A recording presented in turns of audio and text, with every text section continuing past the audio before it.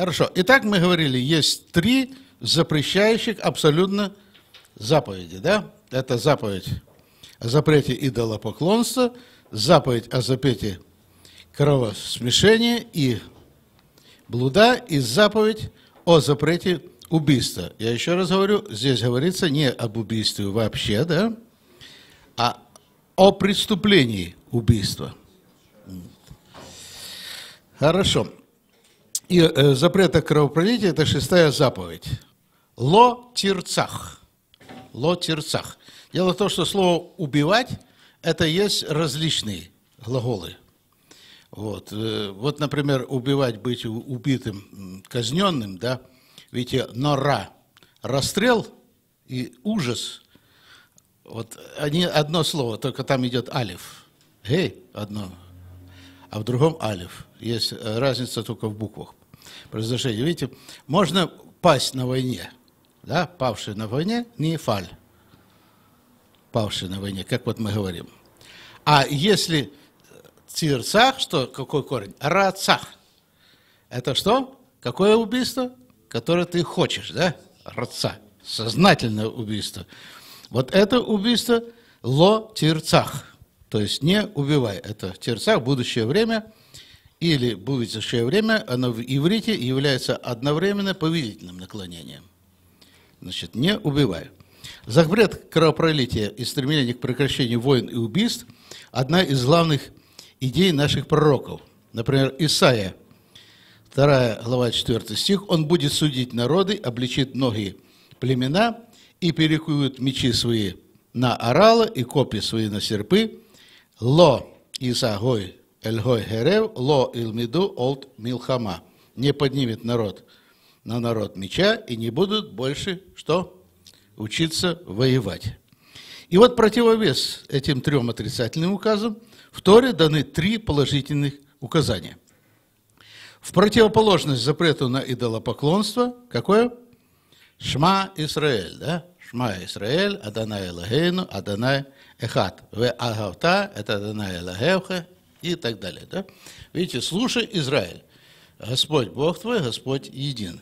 Там, кстати, указывается три единства Божье в одной фразе. Получается, и раз Бог такой, то делай, да? Возлюби Господа, и там есть дальше э, заповедь, когда возлюбить ближнего своего. То есть, видите, как интересно. Возлюби Господа. Почему? Потому что Он Господь Бог твой, да? Тут нет каких-то особых объяснений, нет какой-то теологии.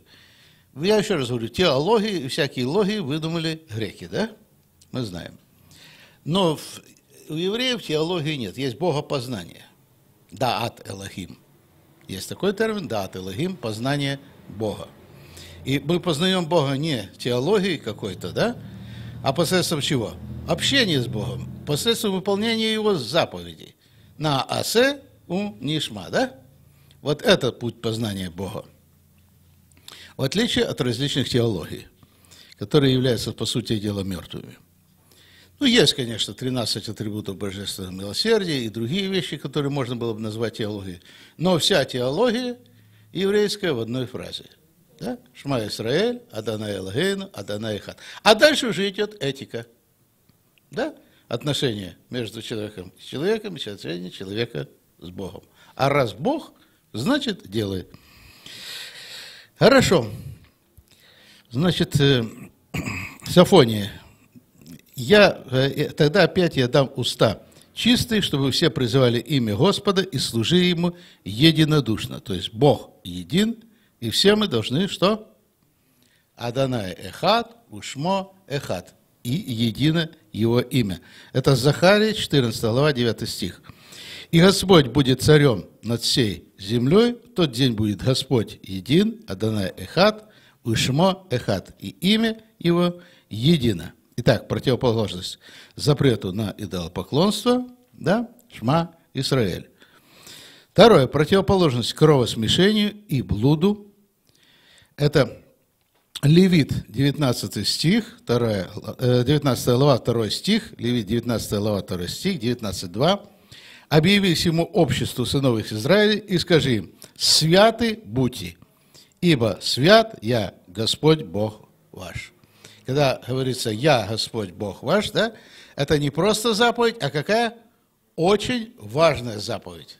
Бог говорит и тут же скрепляет своим именем. Имя Божье имеет очень большую силу. Итак, противоположность кровосмешения – заповедь святости. «Святы будьте, ибо свят я Господь Бог ваш». И в противоположность убийству и кровопролитию сказано, Левит, 19 глава, 18 стих. «Не мсти и не имей злобы на сынов народа твоего, но люби ближнего твоего, как самого себя. Я Господь Бог ваш». Да? Опять Бог, говоришь, это особо важная заповедь, и тут же ставится печать. Да, смотрите как. Мы говорим, как любить ближнего своего. И некоторые говорят, что нужно иметь эмоциональную любовь, да? Вот, это такая любовь, понимаете, когда... Если, если бы не Бог, ты бы никогда этого человека не полюбил, да? Как сказал один человек, ну слушай, брат, я тебя так люблю, но ты меня так достал, что если бы я не верил в Иисуса, я бы тебя так дал под зад ногой, что ты бы головой вот эту витрину разбил бы. Вот это есть любовь Агапы, да? Вот, люби ближнего. Но конкретно здесь говорится, не мсти и не имей злобы на сынов народа твоего, да? Вот что значит не мсти и не будь злопамятным, да? Ну, не все, я заповедь еще выполняю, вот э, не быть злопамятным мне трудно. Силу своих, так сказать, э, привычек и прочего, да. Знаете, не мсти. Мсти, месть – это конкретное действие. Это не только месть, что он тебе дал по голове, ты тоже ему по голове, да? Вы понимаете? Это даже если ты подумаешь о нем. Да. Вот, плохо. Как э, если один, как говорится, взял у тебя пилу и не вернул, а на следующий день просит топор, да? Вот, это такой пример, опять-таки, вся э, этика, все раввинистические учения, они идут на примерах, да, мы говорили, по принципу подобия. То если ты мстительный человек, ты скажешь, я тебе топор не дам, ты мне сначала принеси пилу, да? О, это ты мстительный человек. А если ты даешь топор, ну говоришь, вот смотри, видишь, я тебе топор даю, а ты мне вилу не вернул, то ты какой злопамятный. Злопамятный, да. Хорошо. Вот. Не знаю, подумать надо. Подумать надо. Да. Спросите у Джеффа Коллинза, Спросите у Джеффа Коллинза о топорике, как у него магазин горел. Кто, кто, кто это? Ладно, я потом на перерыве вам расскажу. Итак, не мсти и не имей злобы на сынов. То есть не мсти и не будь злопамятным. И если ты это делаешь, да, то ты любишь ближнего своего, как самого себя. Как еще говорят равины – ты любишь ближнего, как своего себя, да? У нас есть добрый глаз, и у нас есть злой глаз. Я по Исхаку Зильберу говорю. Э, добрый глаз, мы смотрим добрым глазом внутрь себя. И хотя мы видим свои пороки, но мы видим и свои достоинства. Ну, естественно, наши достоинства, они превышают наши пороки. Поэтому мы, в общем-то, себя считаем. Конечно, мы имеем определенные недостатки, но мы, в общем-то, неплохие. А злым глазом мы смотрим наружу. И мы видим ближнего своего, да? И мы видим его пороки, но не видим его достоинств. И если мы будем, наоборот, глазами смотреть, да, видеть свои недостатки и не видеть свои достоинства, и будем видеть достоинства другого, да, но не видеть его недостатков. Вот тогда будет любить ближнего своего. Ну, еще любовь не завидует и так далее, да? То есть зависть – это тоже страшное разрушительное чувство, мы будем говорить об этом. Ну вот, например, мать не завидует же, если успехи у него сына или у дочери, правда? Наоборот, радуется. Почему? Потому что она любит их. Если мы научимся радоваться успехам другого, это будет проявление любви. Ну и дальше 13 глава, 1 Коринфянам, я подробно вам перечислять не буду. Еще что говорят наши отцы. Перкей, а вот первая глава со второго стиха. Шимон, праведник, был одним из последних мужей Великого Собрания. Шимон Гацадик, Шимон, праведник. Он говорил, на трех основаниях стоит мир. На Торе, на Торе, Га, Тора, записывайте, на Торе, Га, Тора, на служение Богу, Га, Авада, и на добрых делах, Гмилут, Хесед. Гомель – это избавление от опасности, избавление от какой-то смертельной даже опасности, от болезни и так далее. Да? Гмилут, Хесед. Хесед – это что? Милосердие. Поэтому здесь говорится о делах милосердия, но именно э, потреблено не дела, а гмилут хесед. А? Первая глава, второй стих, Перкей, а вот. Итак, Тора, а Тора, служение Богу, а Авада, и на добрых делах, гмилут хесед, или множественный гмилут хасидим. 18 стих той же главы. Араби Шимон, сын Гамлиэля, говорил, на трех основаниях стоит мир. На правосудии, аль-ха-дин, ха-дин, правосудие, на истине, ха-эмет, и на мире, ха-шалом. Да?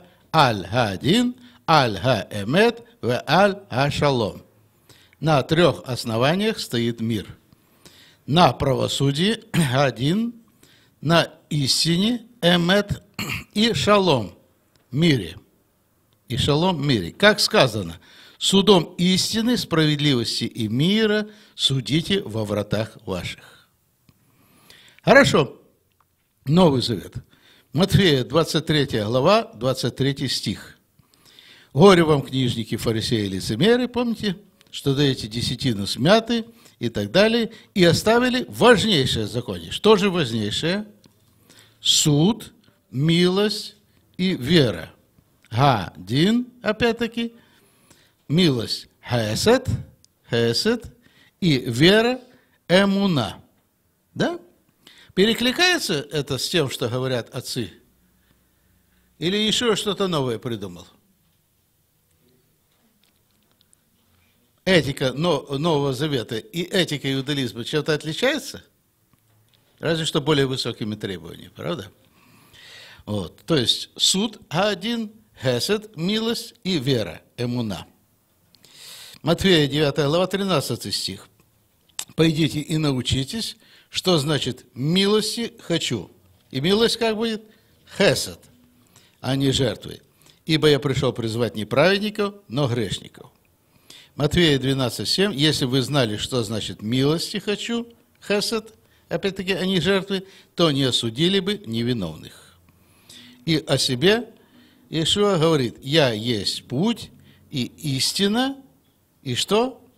Жизнь. Да, эмет, опять истина, хай. А путь, можно сказать, дерех или галаха. Да? Сам Ишуа, он есть живая галаха для нас. И никто не проходит к Отцу, как кроме через меня. Итак, видите, Иешуа говорил о следующих вещах. Если взять разные места, правосудие, так, шесть вещей, шесть вещей. Правосудие – или суд Гадин, так? Милость, хесед, или можно тут же говорить о делах милосердия, то есть гмилут хасадим, гмилут хасадим, это второе у нас. Третье, вера, эмуна, да? Дальше, четвертое, Тора, га-тора, или истина, га-эмет. Тора есть истина, правда? А Тара и Га Эмет. Пятое – это служение Богу, Га Авада, а служение Бога для еврея – это исполнение его заповедей Мицвод. И шестое, о чем говорил еще, и что главное – шалом, мир. Мы должны помнить, что шалом – это не только это не только мир как отсутствие войны, да? Шалом – это полная гармония, это восполнение всего неполного. Мешалем – оплачивать, да? Восполнять буквально. Восполнять, полный, восстанавливать гармонию. Мы когда э, говорим «привет», да, по-русски «привет», а на иврите говорят «дришат шалом», буквально «требуйте мира». Требуйте мира, дришат шалом, требуйте мира. Э, в этом отношении я так понял, что у некоторых православных э, деятелей немножко непонимание. Вот, например, я слушал Осипова лекции, мне они нравятся, там есть много интересных вещей, но он говорит о слове «шалом» как только в смысле о некоторых вещах, которые вот э, преуспевание и так далее в этом мире, мол, евреи не говорят о шаломе. Но когда мы говорим о шаломе в действительности, мы говорим о полноте всего, да? Всего во всем. Ну, надо будет, чтобы Бог дал им тоже понимание. Поэтому антисемитизм в церкви – это серьезная проблема. Еще, есть э, некоторые заповеди, о которых говорят – еврейские мудрецы, что это равносильно всей Торе. Да? Мы говорили, выполняет человек, он выполняет весь завет. Да? Но есть такие заповеди настолько важные, что говорят, что эта заповедь равносильно заповедями Торы. Какие же заповеди считают еврейские мудрецы? Обрезание, милосердие, благотворительность, соблюдение субботы, так, ношение тфилин цицит – и проживание в стране Израиля. Обрезание, милосердие и благотворительность из этих шести заповедей считаются самыми главными в иудаизме. Да? Какие шесть заповедей мы говорили? Обрезание, милосердие, благотворительность, соблюдение субботы, да? Надевание талита и тфилина и проживание в стране Израиля. Ну, вот, например, почему ортодоксальные евреи одевают талит, тфилин – Кажется, это излишне, да? Во-первых, это выполнение заповеди, что иметь Бога где? В разуме своем, да? Иметь Бога на руке. Некоторые группы евреев одевают на правую руку, есть такие группы евреев, которые одевают на левую руку. Это тоже галаха, понимаете? Там четко не сказано, но на голову и на руку. И мы знаем в Откровении, что кому-то будет положено начертание, да, на на чело его и на правую руку. И некоторые чипы все там приделают. Вот я когда ехал с Казахстана, как раз у нас там был спор в купе. Я там одна молодая женщина, один парень, и мы там спорили вот насчет этих всех вещей. Вот. Но правильно этот парень сказал, что говорит, у нас так, говорит, если эти чипы будут, так, значит, половина, говорит, испортится от неправильного хранения. Второй, говорит, половину разворуют. А те, которые все-таки удастся оживить, наши хакеры перепрограммируют. Так что ничего из этого, скорее всего, не получится, да? Когда говорится 666, есть в Библии упоминание 666, и все так боятся это 666, некоторые говорят, что это вот эти вот черточки на этих вот самых, это никакой там 666. Вы знаете, это вообще э, глупо было одна женщина православная, и она, э, э, значит, вдова, в общем, да, и детям покупала молоко. Вот с этими вот, да, ну, полосочки, знаете вот эти полосочки? Вот. И ей этот священник, да, штрих-код, да. Этот священник ей сказал, ты знаешь, ты не должна была делать. Ты в себя впустила дьявола. Теперь тебе нет спасения. Это священник сказал. Она взяла и повесилась. Но мы должны мыслить по-еврейски. Видите, что такое имя? Какое имя на этих коробочках? Шин, да? Шин – это такая же буква Ша. Она состоит из трех частей, да? Это имя Божье. И если разуме будет не имя Божье, а что? Антихриста, а рука – это действие во имя Антихриста. Вот это и есть то, что будет положено на чертание, да? Да. Вот. Так что да, это уже происходит сейчас. А когда приедет Антихрист, это будет уже явлено. И был тому пример, когда многие церкви признали Гитлера. Помните, мы рассказывали об истории? Уже было такое, и будет еще раз. Естественно. Еще важные заповеди, видите, это заповедь о субботе. О субботе. В основе субботы лежат три идеи. Первое – это память о мироздании. Помни день субботний, чтобы светить его, захор, да? И шесть дней работы, и делай всякие дела твои, а день седьмой – суббота Господу Богу твоему. Почему не делать никакого дела? Да, в шесть дней создал Господь небо и землю, море и все, что в них, а в седьмой день почил, то есть зашабашил, да, буквально сказано, зашабашил, шаббат. И поэтому благословил Господь день субботний и осветил его. Итак, это в память чего мы празднуем субботу? да, в память творений мира. И сказано в Мидраше, трое свидетельствуют друг о друге. Израиль, суббота и Господь. Израиль и суббота свидетельствуют, что Господь един.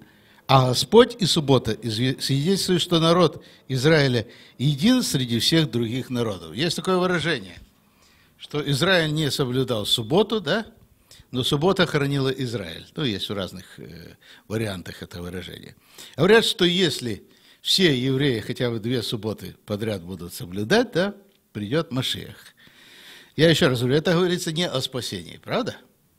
А о почтении Бога как царя и творца мира. И с другой стороны, видите, этика, тоже отношение Бога и человека, и отношение, в субботу вот она особенно проявляется, да? Вот. И э, отношения между человеком и человеком. То есть для чего? Чтобы отдохнул раб твой. Да? Первое – это мы видим исход 20 глава, второе – второзаконие, 5 главе. Соблюдай день субботний, первое – помни, второе – соблюдай.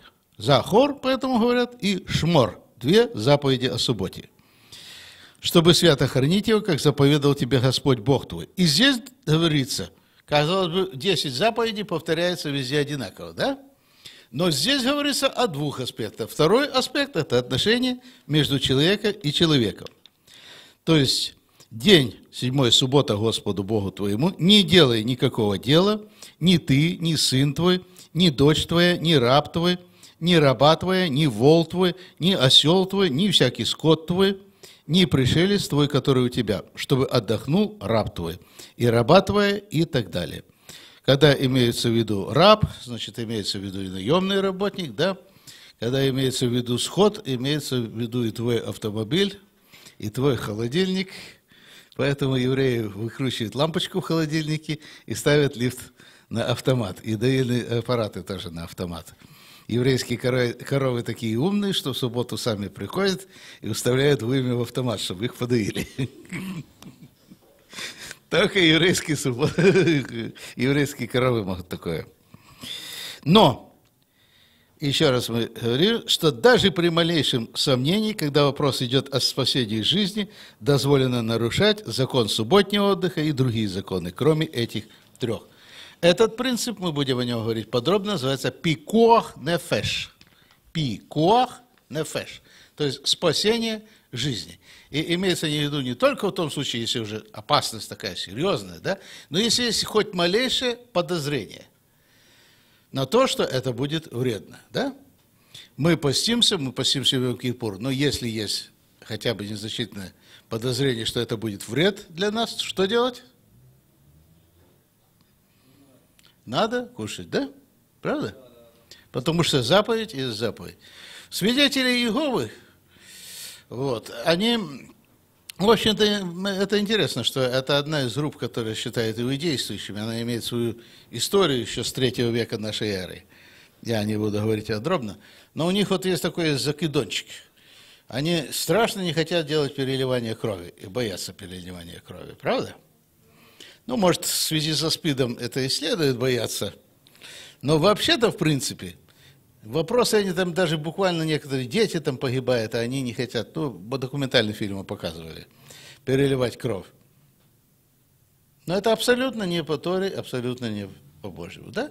Запрет есть употребление крови, пищу, как пищу. А как лекарство можно употреблять кровь?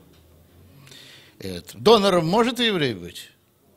Да, конечно. Тот, кто отдаст свою жизнь, а кровь символизируется жизнью, другу своему, товарищу, ближнему своему, это хорошая заповедь, это хорошая митцва. Вот. Евреев обвиняют, да, обвиняют навете, но тем более у евреев вообще не употребляют кровь в пищу, да. Но я еще раз говорю, в том случае, или заповедь о субботе. Вот если у вас нет другой работы и вам грозит безработица, конечно, если есть у вас такая работа, что вы можете работать или не работать, и у вас своя собственная лавочка, да? Вот и вы можете не работать, то, конечно, вы должны субботу соблюдать. А если вы находитесь на какой-то работе, ну вот жена у меня сейчас работает по субботам, да, все. Она уже не ходит со мной вместе, начался э, учебный год. Так что, ей увольняться, что ли? Она не может составить так расписание, что у нее, получается, в субботу нужно работать, да? Значит, такое есть заповедь, что если человек не может соблюдать субботу, пусть работают в субботу, лучше, чем он будет побираться. Правильно? То есть нет абсолютно строгих заповедей. Заповеди даны для блага человека, а не для того, чтобы они уйдели. Но тот, кто субботу, знаете, из упрямства не соблюдает.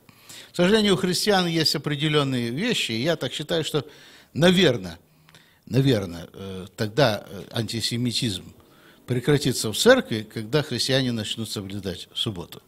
Интересно, что католики уже это поняли, и они говорят, что мы соблюдаем субботу, да, как суббота, который день Господа. Вот, по Торе. И мы соблюдаем воскресенье в память о Новом Завете. Правда? Поэтому не надо так противопоставлять, что или суббота, или воскресенье, да? Или что суббота, ну, э, Елена Уайт, она тоже, кстати, имела еврейские корни. Это Уайт, ее фамилия по мужу, то ли она Блюмберг, то ли Шломберг, не помню, в общем, как там. Вот, у нее было интересное откровение, что она видела скрижали заповеди, да, и четвертое, Рафа, вот эта заповедь о субботе сияла – и, э, но дальше у нее, это очень хорошее, это правильное откровение, и разумное, и мудрое. Но дальше у нее есть высказывания, такие, что вот, я читал одну брошюрку, э, что э, этот э, Бог спросит, там, типа, на небе, а соблюдал ты в субботу? И все, кто не соблюдал субботу, пойдут иенно. Правильно это? Нет, конечно. Вот. Поэтому я говорю, что это удивительное, кстати, течение. Э, дело в том, что адвентисты седьмого дня и свидетели Иеговы – близнецы-братья. Да. Они произошли от одной группы, от одной группы верующих в середине 19 э, века, сильно ждали конца света. Как-то там посчитали особым образом, что совпадет Пасха. Именно, я не знаю всех тонкостей, может, кто знает – и потом они э, стали ждать конца света. Конец света не наступил, да? И тогда эти две группы разделились. А вот они и те, и другие ждут, и, и все остальные христиане, кто верующий в Ишуа, ждут. Все христиане-адвентисты, правда? Вот. Но там есть определенные вещи в учении. Но что единственное неправильно у свидетелей Иеговы? У свидетелей Иеговы неправильно то, что Бог не троичен, да? Но есть такие мнения, что и свидетели Иеговы тоже придут к правильному пониманию своего рода. Есть уже к этому у них там тоже определенные предпосылки. Что касается адвентистов, они в этом отношении восстановились, и сейчас у них вполне здравое, нормальное учение. Вот. А соблюдение субботы – это замечательно, это прекрасно, слава Богу. И Божье благословение. Только вы должны помнить, что это на спасение наше не влияет, да? но на соблюдение заповедей, на то, как мы любим Бога, это влияет очень большой степени. Поэтому я верю, что когда все христиане всего мира будут соблюдать субботу, как адвентисты седьмого дня, как евреи, как мессианские евреи. Вот тогда наступит да, единство. Это не значит, что все станут одинаковыми. Но мы все должны любить и уважать и быть едины, как единое тело Христа. Это прекрасно, это замечательно. Видите? Хорошо. И еще есть такие важнейшие части еврейской веры и учения. Единство Бога, святость имени Его, обязательное изучение Торы, воспитание детей в духе, изучение Торы и ее заповедь, любое уважение к Торе и изучающим ее, а также обязательное чтение Шма, заповедь ношения тфилин, обозначение еврейского дома прикреплением мезузы на косяке двери, обязательное соблюдение заповеди Торы, любовь к стране Израиля – и упоминание об исходе из Египта как символ свободы. Мы уже говорили о вере и праведности, что праведный верой своей жив будет. И тоже интересно самое место, Яков пишет, да, цитирует тоже средство, но не делами ли оправдался протец наш Авраам, да? И мы говорили о взаимоотношении этого. И э, Давид Давид все 613 заповедей собрал и свел к 11. К 11 заповедей. И опять-таки эти заповеди относятся к этике. Опять-таки заповеди относятся к этике. Это Псалом 14, да? Кто может пребывать в жилище твоем? Первое. Кто ходит непорочно. Да, помните, мы говорили, непорочность, целостность, цнют, да, целостность. Кто делает правду? Здака. Кто делает что? Здака. Говорит истину, эмет, в сердце своем. Значит, первое, ходит непорочно. Второе, делает правду. В оригинале потреблено слово «здака», делает «здаку». Третье, говорит истину. Истина что? эмет. Помните, мы еще раз говорили, это и Новый Завет, и Танах. Не клевещет, не злословит языком своим. Четвертое. Пятое. Не делает ближнему зла, то есть не делает другому то, что ты хотел бы, чтобы тебе сделали, да? Шестое. Не принимает поношение, то есть что такое поношение? Сплетню на ближнего своего. Тот, в голосах которого презрен отверженный, имеется в виду не презрение к человеку, а имеется в том, чтобы не участвовать в делах, да? не разделять беседу, не сидеть в совете нечестивых, не ходить путями, да? И так далее. То есть отвержен, презрен отверженный, который боится Господа, да боящийся Господа славит, боящийся Господа славит, употреблено слово «ковод», уважение. Девятое. Клянется хотя бы злому и не изменит. Некоторые говорят, ну, это клятва, вот это к верующим, а с неверно клятвы какие клятвы, да? Есть такие некоторые рассуждения, даже у еврейских некоторых раввинов, что Гою данная клятва не действительность. То действительно, если человек клянется, то есть дал слово, он должен его сдержать. Десятое. Кто серебра не отдает в рост – вы знаете, что заповедь о запрете ростовщичества, да, если бы все евреи соблюдали эту заповедь, все банки бы накрылись и горели бы синим пламенем. Вот и интересно, что среди староверов, а есть такая староверы, да, группа, и э, они, староверы, в особенности такая группа Малакани, Малакани, кстати, Малакани были одними из первых пятидесятников в России – они приняли Духа Святого, спонтанно были крещены Духом Святым. Э, они изучают Тору, да, как словесное молоко, они изучают э, также Танах, и у них есть очень много вещей, которые они живут по Торе, по толкованию Торы. Есть еще и иудействующие, тоже очень интересная группа.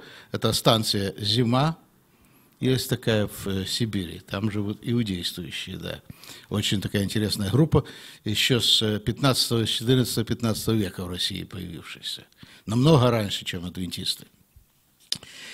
И э, если это солдата Швейка, знаете, да? Есть еще продолжение, когда были собраны материалы, потому что Гашек не закончил это, а друг его вместе с его женой закончили эту книгу «Солдат Швейк в русском плену».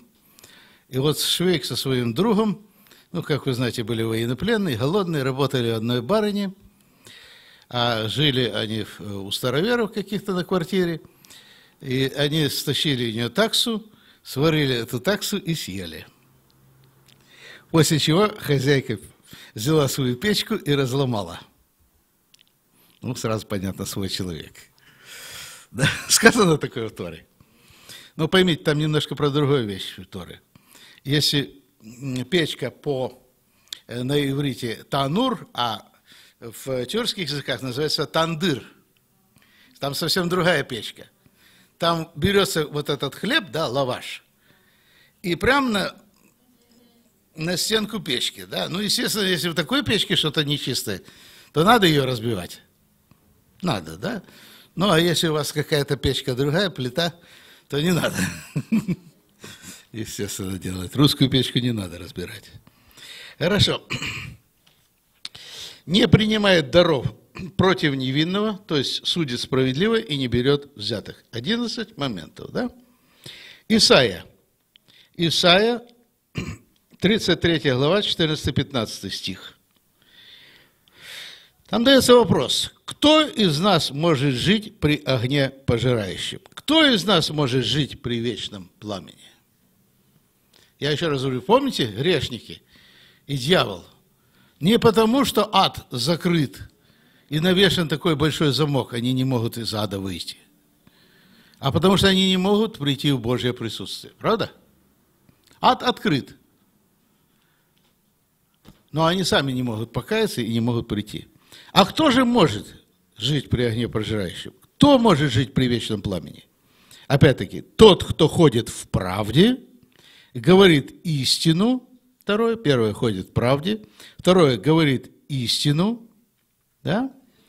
презирает корость от притеснения, четвертое, удерживает руки от взяток, значит, третье, это Корость от притеснения отвергает. Четвертое. Удерживает руки от взяток. Пятое. Затыкает уши свои, чтобы не слышать о кровопролитии. Вот вы, например, конкретно.